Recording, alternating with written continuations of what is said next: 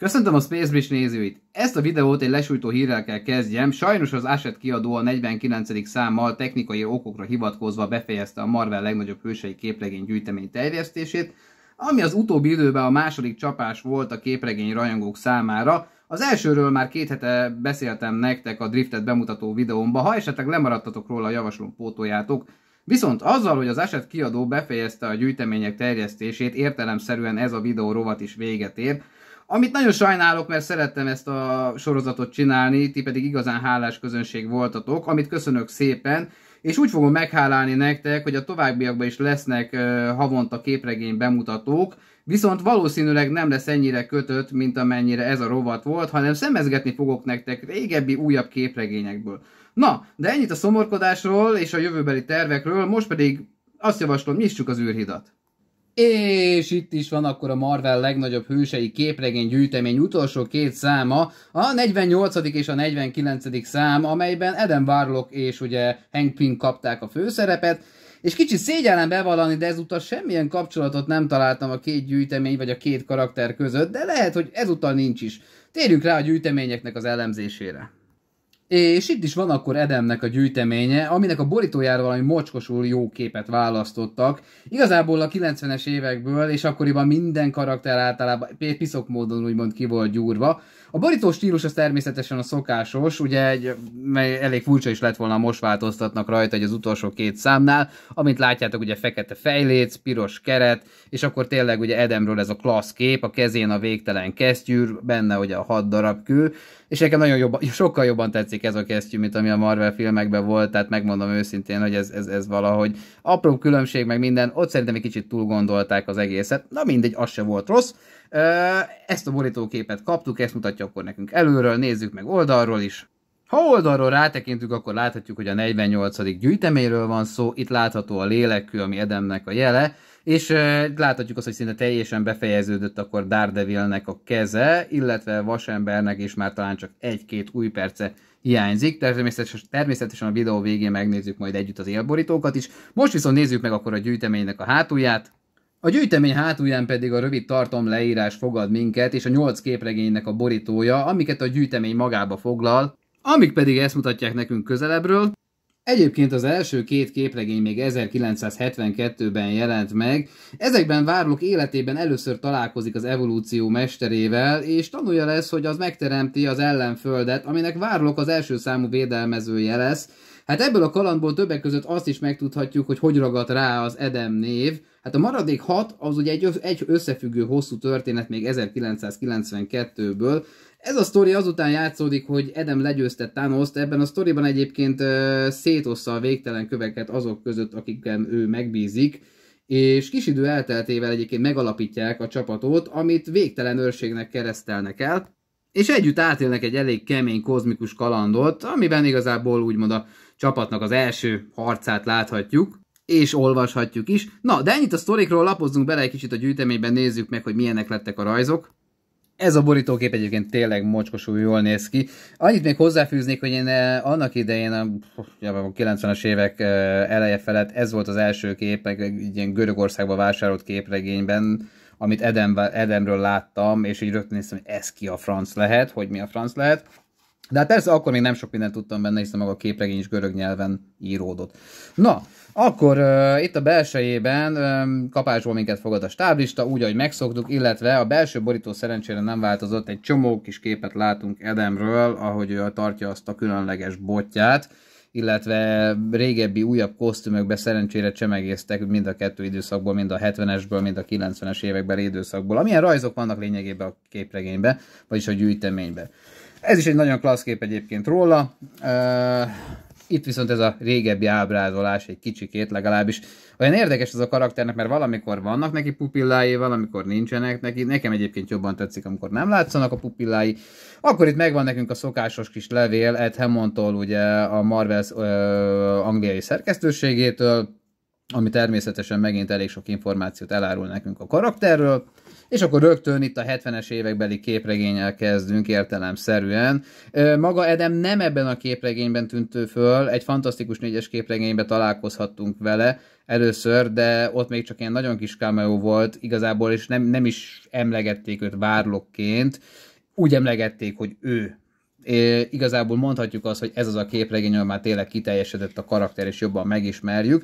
Szóval, hogyha szeretnétek megismerni ezt a karaktert, akkor hajrá! Maga a rajzok egyébként abszolút rendben vannak, szerintem jól sikerültek, ugye itt van az evolúció mestere. Én egyébként másodjára találkozok ezzel a karakterrel a képregénybe. Elsőre is egy ilyen Marvel legnagyobb hősei képregény gyűjteményben találkoztam vele, és megmondom őszintén, hogy eh, nekem nem annyira, nekem nem annyira adja ez a karakter, úgy úgy, úgy nem tudom, tehát úgy pontosan mit is akar ő, most folyamatosan keresztez lényeket, meg bolygókat teremteni, meg ilyesmi. Lehet, hogy többet kéne róla olvassak, és akkor én is megkedvelném, de egyelőre még úgy nem, és számomra kicsit fura ez is, hogy ilyen kecske, meg ilyen fejű, meg ilyen jellegű karakterekkel veszik körbe magát. Na mindegy, hát minden esetre a sztori az jó, uh, igazából ez az ellenföld dolog, ez is egy érdekes dolog, ha erről nem hallottatok, itt igazából maga az ellenföldnek a születésének a tanúi lehettek, úgyhogy mindenképpen tudom ajánlani. Megtudjátok, hogy ugye hogy lett elkeresztelve a karakter Edemnek, miköz, hogy találkozott ő Torral, stb. stb. És tényleg ilyen igazi kozmikus csatának lehetünk a tanúi. Egyébként itt még ugye az első kosztüm van rajta, aminek egy ilyen villámjel van az elején, ami azt mondom nektek, hogy nem rossz, de nekem a későbbi a sokkal-sokkal jobban tetszik már a, ami a borító elején is látható volt, ez a ruhája neki. Uh, igen. Amikor már megvan neki ez a bot is, az még külön rádob szerintem egyet. Na, hát itt már a rajzok változtak, annyira nem sokat, de azért érződik, hogy nem ugyanaz a rajzoló, hogy nem ugyanaz az időszak, mocskosul ki van gyúrva a karakter, mint hogy a többi karakter is a gyűjteményekbe, és tényleg szépek a rajzok, és hát vaskos maga a gyűjtemény is, rácok, mert mégiscsak 8 képregényt foglal magába, tehát az nem kevés. Úgyhogy ha érdekel ez a karakter, már pedig valószínű, hogy a Marvel az nem ok nélkül, vagyis a Disney nem ok nélkül hozta be az MCU-ba ezt a karaktert, szóval fel fog ő tűnni, és ha kíváncsiak vagytok a képregényes hátterére, akkor mindenképpen javaslom ennek a gyűjteménynek a beszerzését, mert ez elég kimerítően foglalkozik a karakterrel, és természetesen a végén, ha még nem lenne elég a gyűjtemény, rengeteg háttérinformáció megtudható a karakterről, itt a rövid történetből, ami ugye megszokott lenni mindegyik, karak, mindegyik gyűjteményben a karakterről, ami természetesen nem is olyan rövid, leírja neki itt nagyjából Thanosnak a viszonyát.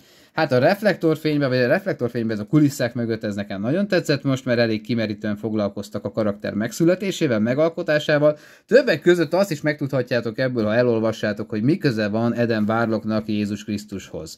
Tehát Na azért ez nem rossz, ugye? Fölkeltette a kíváncsiságotokat. És akkor itt még a végébe e, látható nekünk egy kis ajánló, amiben szintén olvashatunk ebb, erről a karakterről, ha esetleg nem lett volna, belég, nem lett volna elég Edemből, akkor ezeket a gyűjteményeket, köteteket, ha beszerezzük, akkor többet megtudhatunk róla. Na, azt mondom nektek, hogy ennyi elég lesz erről a gyűjteményről. És akkor most térjünk rá az utolsó kiadványra, azaz a 49. gyűjteményre.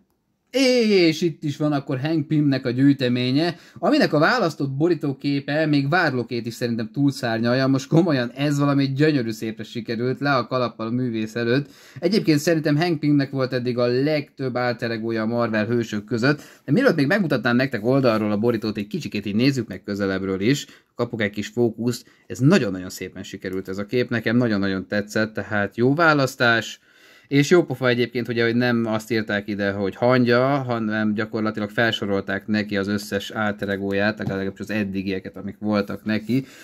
Szerintem ezzel a karakteren nagyon-nagyon sokat dolgoztak azért, hogy Marvelnél, hogy megtartsák, tehát nagyon sokat variáltak rajta. Na, de ennyit az első elejéről a borítónak, és akkor nézzük meg oldalról is.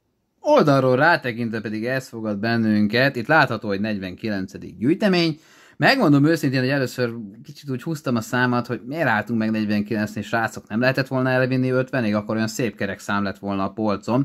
Aztán úgy gondoltam, hogy valószínű, hogy az élborító miatt is álltak meg a 49-nél, mert itt némi kis retusálással befejezték a képet. Azért mondom ezt, mert itt befejeződik gyakorlatilag Daredevilnek a botja, illetve hát a keze is, ha úgy nézzük, illetve vasembernek az ujjai is, és nincs semmi.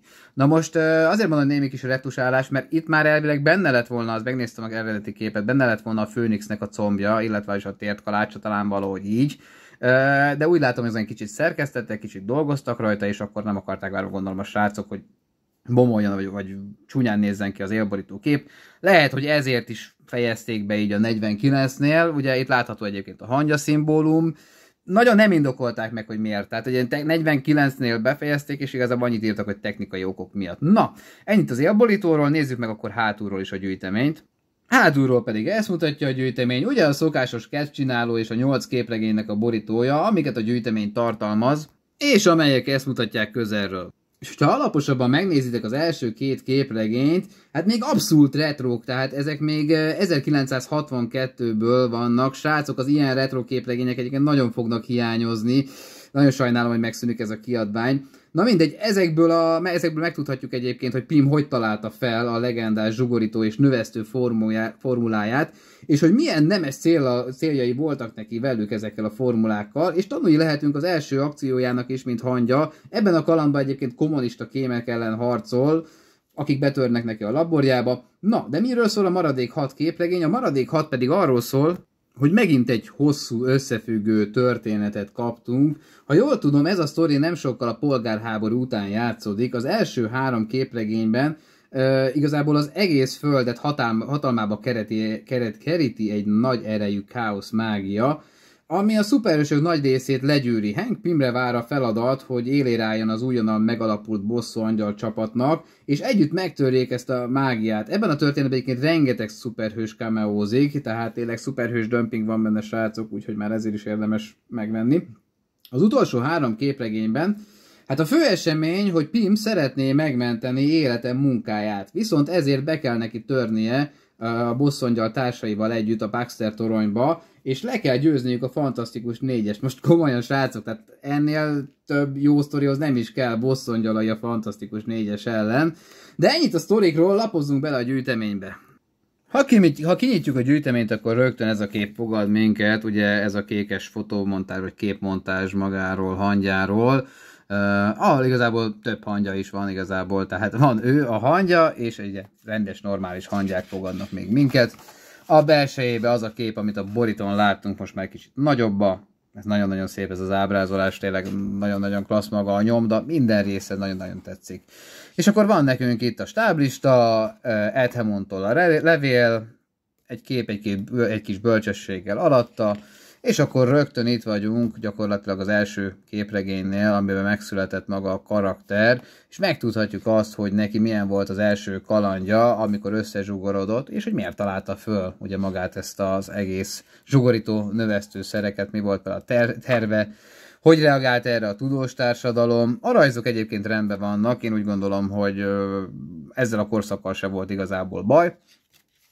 De hát kinek mi tetszik, srácok. Valaki például nem szereti annyira a retro mint én. Én csípen vannak benne tényleg nevetségesek, aláírom már olyanok, amik mai fejjel nevetségesek. De mégiscsak az ember ilyenkor mindig egy ilyen kis darabka történelmet fog a kezébe, úgyhogy én azt mondom, hogy érdemes egyfajta tiszteletet mutatni az irányukba.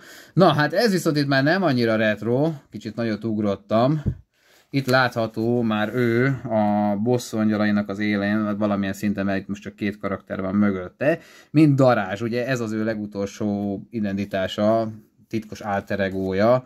Láthatóak itt a Oszbor féle bosszúangyalai, vagy bosszúállók, eh, bosszúangyalai, igen, hát ugye ebből a csapatból szinte mindenki bűnöző, leszámítva az őrt. Na, bár ugye Osborn hivatalosan nem bűnöző. És akkor itt elkezdődik ez a káosz mágiás kaland, amivel biztos van egy tippetek, hogy kiállhat mögötte. Azt kell, hogy mondjam, hogy nem, nem. Tehát nyugodtan olvassátok el a gyűjteményt, nem az a karakter, akit szerintem tippeltek. De semmit nem akarok lelőni előre. Vannak benne ilyen klassz kis visszaemlékezések, amikor először összeálltak a bosszúállók. Ezt minden ilyen nagyobb eseménynél valahogy végig gondolják hogy, tanul, hogy lett belőle óriás, hogy tudta meg, hogy a vasember valójában Tony Stark. Itt az, amikor elordítja magát és kimondja, hogy akkor angyalok gyülekező, ami ugye klasszikussá vált hívó mondat a bosszúállók között, bosszúanyja, már engem is, én is bosszúállókat mondok, mondjuk az is, az is igaz, hogy eléggé fáradt vagyok, most srácok, nézzétek el nekem. De ezt a videót mindenképpen le akartam forgatni, nem akartalak titeket tovább húzni még egy héttel, úgyhogy itt már feltűnik benne a női Loki is, hát oké, okay, rendben van, nekem nem nagyon hiányzott a női Loki, nem tudom, hogy ti hogy vagytok vele, megosszátok vele a vélemény, velem a véleményeteket, azt megköszönöm. Na, hát a rajzok, amit látjátok, gyönyörű szépek, rendben vannak, és ahogy mondtam, ez körülbelül a polgárháború után játszódik, és két igen klassz történetet foglal magába végül is ez a hat gyűjtemény, ami ugye, vagy hat képregény, ami egy hosszú összefüggő történet. Na, a gyűjtemény végén természetesen itt is akkor megvan nekünk Hank Pymnek a rövid története, darázsal a viszonya, a bosszangyalaihoz a kapcsolódás vagy csatlakozás, hogy lépett be, hogy lépett ki a problémáival kapcsolatban, elég behatóan foglalkozik, és természetesen megvan nekünk a kulisszák mögött is, ami mindenképpen klassz, és a végére van nekünk egy ilyen uh, hangy alternatívák. Nem tudom, hogy ezt ismeritek egyébként, ezt az új világos képregényt. Én azt hiszem, hogy ebből csak egyetlen egy jelent meg Magyarországon, egy, egy ilyen vaskosabb példány, legalábbis nekem az van meg. Na mindegy, ez is itt jó pofa, ugye ez meg az Old Man Loganbe, amikor ott megtalálják a holtestét, ami nem zsugorod. Hát nem megtalálják konkrétan egy már, már ilyen unalommá vált látványosság a holteste, hogy a csontváza neki. Na, az is egy nagyon jó képregény, hogy ez az Old Man Logan, azt is érdemes elolvasni. Lehet, hogy majd valamikor azt is bemutatom a csatornán. Persze, hogyha titeket érdekel, akkor ezt jelezzétek az irányomba. Na, és akkor igazából itt a végébe megvan nekünk az olvasni valók, tehát még ahol lehet olvasni magáról a karakterről és az ő kalandjairól.